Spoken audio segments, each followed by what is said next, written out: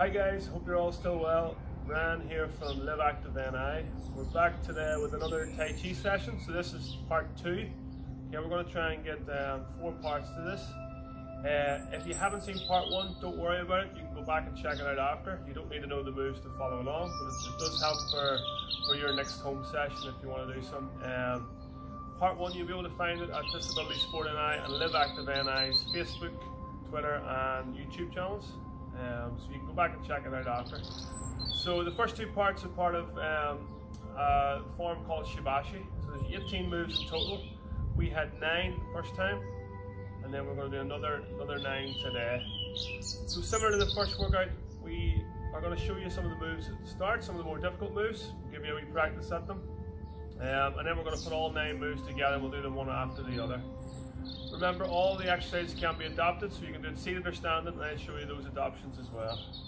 So, good to get started. We're going to show you our, our stance first of all. So just remember, make sure you're in a nice clear area. I'm outside today, it's a lovely morning, so but you can uh, find a space that's clear uh, and you're comfortable in. If you're standing, we're going to get into our Tai Chi stance, so feet shoulder width apart, our knees are soft and we're up nice and tall. Arms down long by the side, just nice and relaxed, and shoulders back as well. Um, I want you to imagine then that you've got a book on your head. So if you were to have a book on your head and you were to lean over too much, the book would fall off. So you want to stay up nice and tall. So Tai Chi is really good for improving your posture. So try and stay nice and tall throughout the session if you can. If you're seated then, um, have a nice chair that you can sit on and your feet are flat on the floor. Okay, don't want you leaning back on the chair. Get up nice and tall again, shoulders back, arms by the side, and again the books on top of our head, just to keep that sort of posture in mind.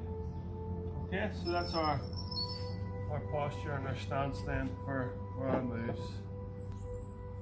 Okay guys, so there's a few moves that require different stance to this, so we're going to show you that stance, it's called the bow stance. Okay, there's three moves in a row here, um, 11, 12 and 13 uh, that we'll use in this bow stance. So I'll show you it now briefly. Um, what we're going to do is to step out at an angle. So about 45 degree angle, you're going to turn your chest to face over the knee and the toe. Okay, so brings in line. Um, and basically we're rocking back and forward. So we're shifting the weight forward, bend the front knee, and then shifting the weight into the back leg. And as you do that, lift the front toe. So we're trying to stay tall as well. So keeping the posture in mind, shift the weight forward. And then as we come back, we're lifting the toe. Now as you shift forward, take a wee look down at your toes. We don't want to overextend the knee. So if you can still see your toes and your knees not blocking them out, then that should be comfortable, okay? So you don't want to go too far over where your knee is blocking out your toes. So just be careful on that, on that way. Okay, so shifting back and forward then, staying nice and tall. In the chair then, okay, a couple of ways you can do it. We can sort of turn at that angle a wee bit if you can and just use the hands. Okay, so we'll show you the hands in a minute or two. Or you can actually step out a wee bit at that angle. And instead of shifting the weight forward too much, you can lift the toe bit. You can sort of rock back and forward a tiny bit then. Okay, as you as you push and pull. Okay. Okay, so whatever suits you, you can just do the hands, or you can get the feet involved a wee bit in the chair. Okay, just remember, remember keep in mind your posture as well. Okay. So the first one is called scooping the ocean and looking at the sky. So we're in that bow stance. Okay, up nice and tall rocking back and forward. As you come forward, I want you to pretend to lift the ball from just above your knee. As you shift the weight back, I'm to bring that ball up, stretch, look up, and then as you shift the weight back again, we're going to grab the ball and stretch. So weight comes forward, lift the ball just above your knee, breathe in as you lift that ball up towards the sky, and then come back down nice and slow and controlled. So that's the first we want.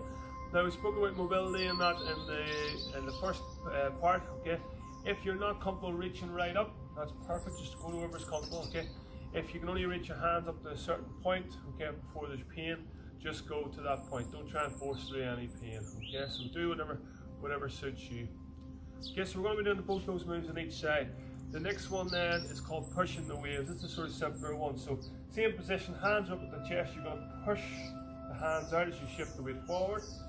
Turn the palms towards the ground as you pull and shift the weight back. So push and pull. Okay. Breathing in this one, you're going to breathe in on the way back, breathe out on the way forward.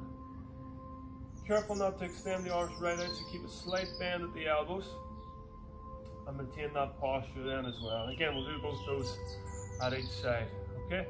The next one, a we do more movement. This one, we'll go back to the other side. It's called the dove spreading its wings. So, we're going to shift the weight forward. Palms are coming in towards each other, and then as you shift the weight back, lift the toe, palms are coming in towards you. Widen the hands out and the arms out. Breathing in and out. Inhale and exhale.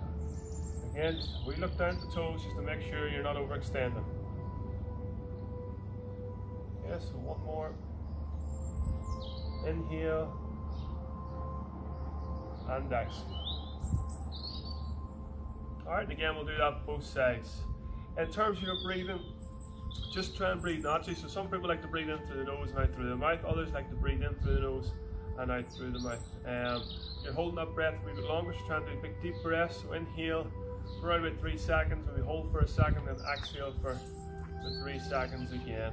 Okay? Um, so it's really good for your relaxation and that. So try and focus on your breathing. Whenever you get into the way of the movement and you're getting it in, no problem, you're doing the, the movement with ease, really try and focus on your breathing then. Okay?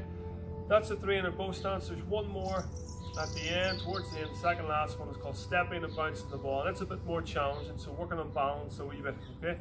So I want you to imagine you have uh, a piece of string in one hand and it's connected to the opposite knee. So my right hand to my left knee, okay? If you raise your hand up, the string is going to pull the knee up. And then as you come back down with the hand, the foot's going to come to the floor. And then we change over to the other side. So working on the balance a wee bit in this hand, so raising the hand up, the knee comes with it. And then changing, same thing, hand comes up, knee comes up as well. So this is called stepping and bouncing the ball. Okay? So you can try and relax the hands, raise the knuckles up, and then push the palms down. Now in terms of the um, the, the feet. Okay, if you're not comfortable standing one leg for too long, just do a wee small step and back down. Okay, the higher you go with the knee, the more challenging it is. You can also just lift the heel off the floor if you're not comfortable. Okay, coming up and down. Heel is fine. Alright, in the chair for that one, again you just focus on the hands, up and down one at a time or you can lift the hand and the knee slightly off the floor. Whatever suits you.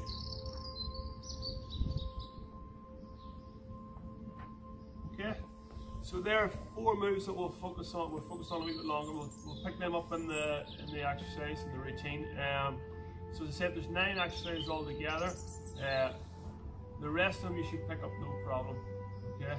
Um, we started off the last one lotus leaves floating in the breeze, so we're pushing out. And then in. So that was the ninth exercise. Okay. From there, then we're going to go into hands like clouds. We have hands like clouds. So feet are again shoulder width apart. We're going to focus on transferring the weight from side to side. Okay. Bending one knee and then shifting the other. So I want you to shift the weight over to one side. Have the top hand up. You're focusing on the palm.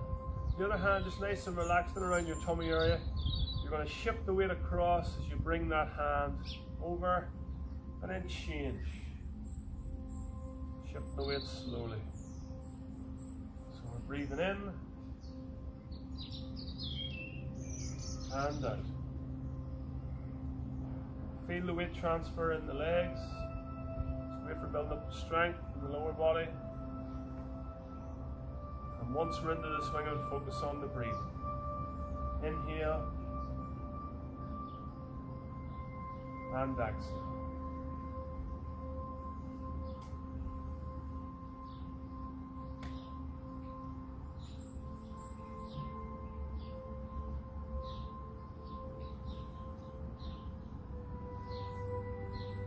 Last one.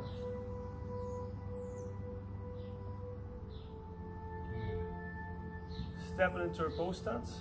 Okay, scooping and look, scooping the, the ocean and looking at the sky. So shifting the weight forward, lifting the ball, breathing in as we stretch, lift that front toe, reach, come back to the ball.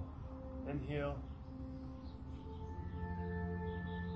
and exhale.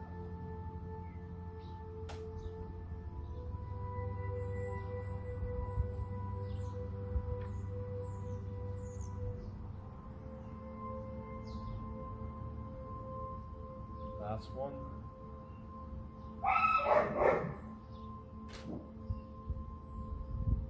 Bring that foot back in, change to the other side. Again, turn the chest, face over the knee. Shift the weight forward. Breathe in.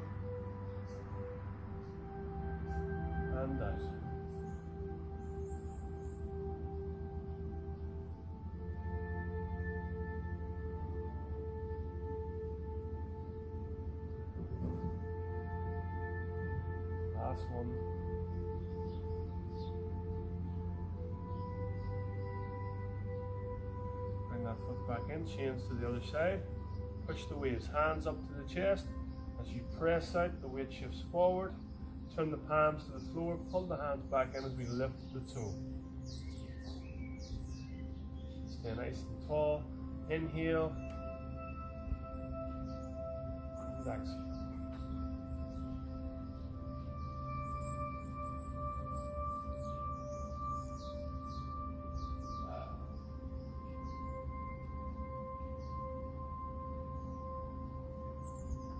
Come in, we bring that foot in as well. Change to the other side. So we look one nice, slow, smooth movements. Don't try and rush through the moves. Almost the slower the better for developing the strength.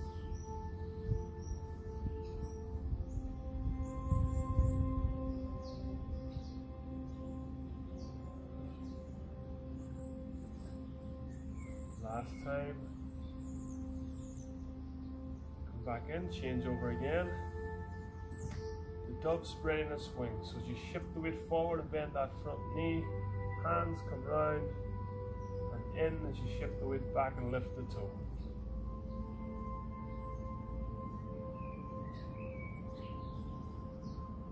Reach out with the arms. Inhale and exhale.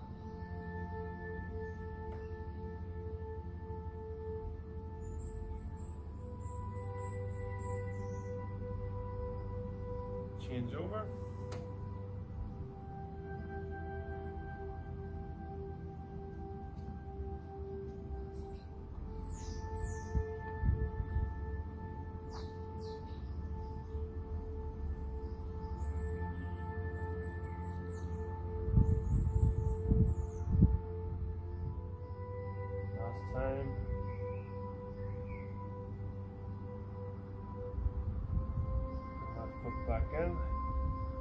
To a normal Tai Chi stance, so feet shoulder width apart, chest facing forward. I want you to make two fists. Just have them relaxed, arms nice and long and relaxed at your hips, legs, tops of legs. This one's dragon coming out of the ocean. So this is a punch, okay? Our knees are soft, we're up tall. We'll punch them with one hand, out in front, and then back in. And then we chain to the other side. So punching out in line with the shoulder, we're turning the knuckles from the floor to the sky, and then back to the floor. Just have a nice relaxed fist. Be careful not to lock out the arms.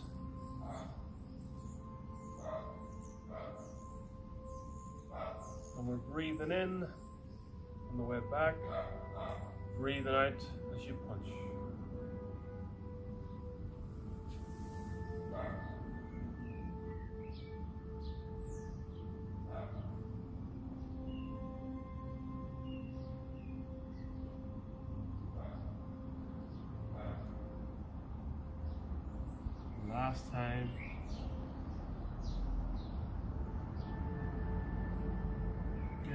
This position, okay, feet shoulder width apart or seated up nice and tall. Next move is flying wild geese. So hands just come to the side. Going to raise the hands up and down. Breathing in and out. Hands come up to about shoulder height or to wherever's comfortable.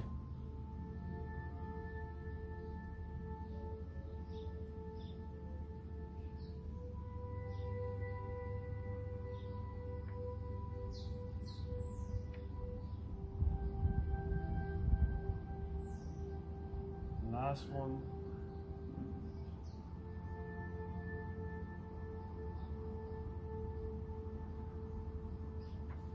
Okay, next one's windmill, windmill turning in the breeze.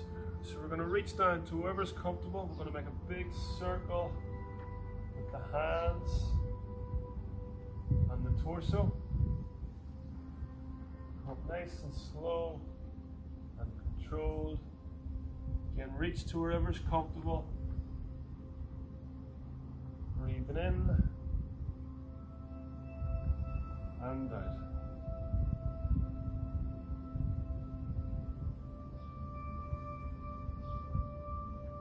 I'm going to change direction.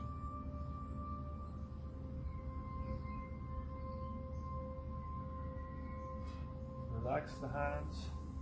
We're in the chair. Same thing if we can. Up to wherever's comfortable with the hands.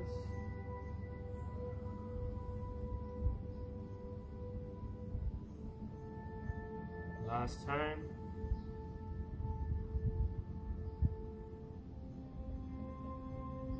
And relax. Last two, stepping and bouncing the ball. So remember the ball or knee or the thigh is on a piece of string controlled by the opposite hand.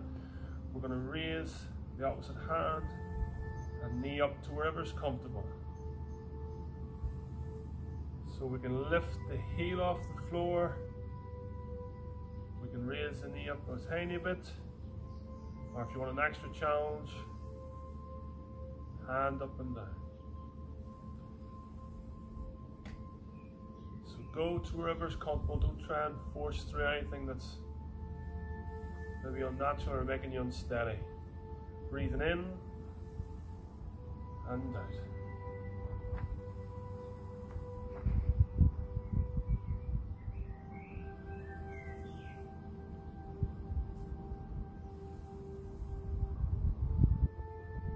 Last time.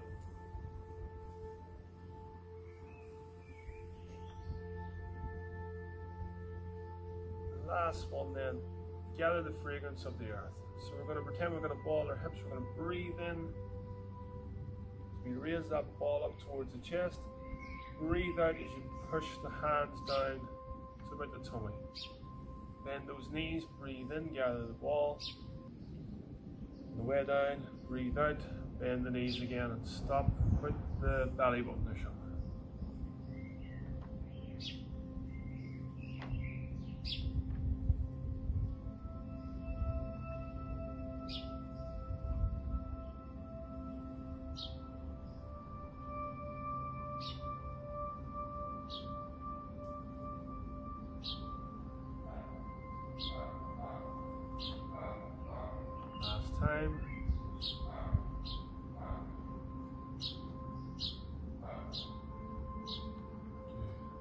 Finish with a wee bit of breathing. So pretend you're holding the ball about tummy height, just probably below your belly button.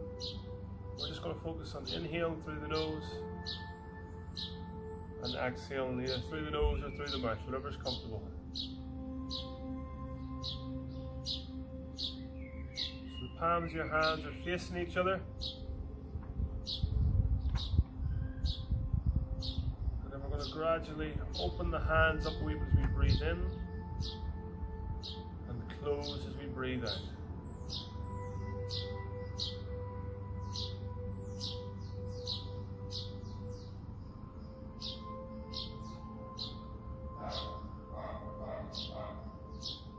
You can change the angle of that open and close.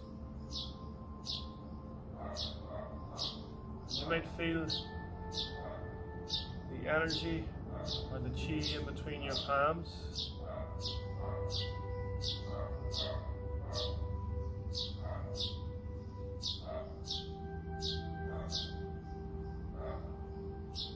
And then just roll your hands